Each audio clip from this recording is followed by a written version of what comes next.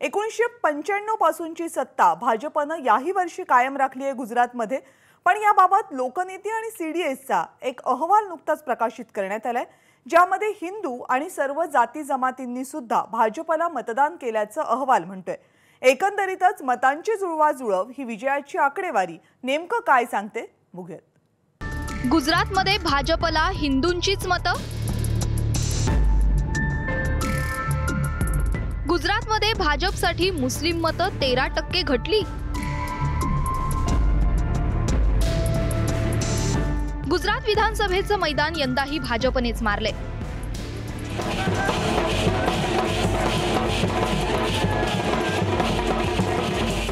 भाजपने जरी विजयाचा गुलाल उधळला असला तरी भाजपची चिंता वाढवणारी आकडेवारी या निवडणुकीतून समोर आली आहे भाजपला मिळणारी मुस्लिमांची मतं तेरा टक्क्यांनी घटली आहेत. सवर्णांची बासष्ट टक्के मतं भाजपला मिळाली. पाटीदार समाजाची चौसष्ट टक्के कोळी समाजाची एकोणसाठ टक्के दलित समाजाची चव्वेचाळीस टक्के आदिवासींची त्रेपन्न टक्के तर मुस्लिमांची मतं चौदा टक्के मिळाली. याच आकडेवारीवरून ओवेसींनी भाजपला घेरण्याचा प्रयत्न केलाय.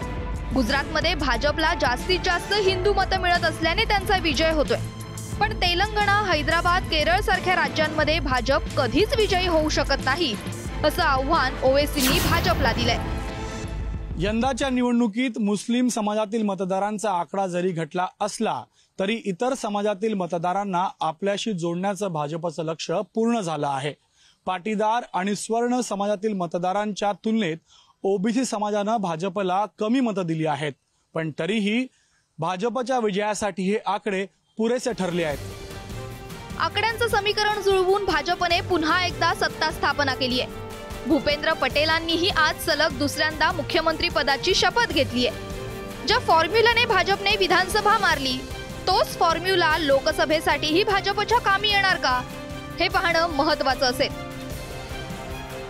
Bureau report ABP Majha. ABP Majha. उघडा डोळे बघा नीट.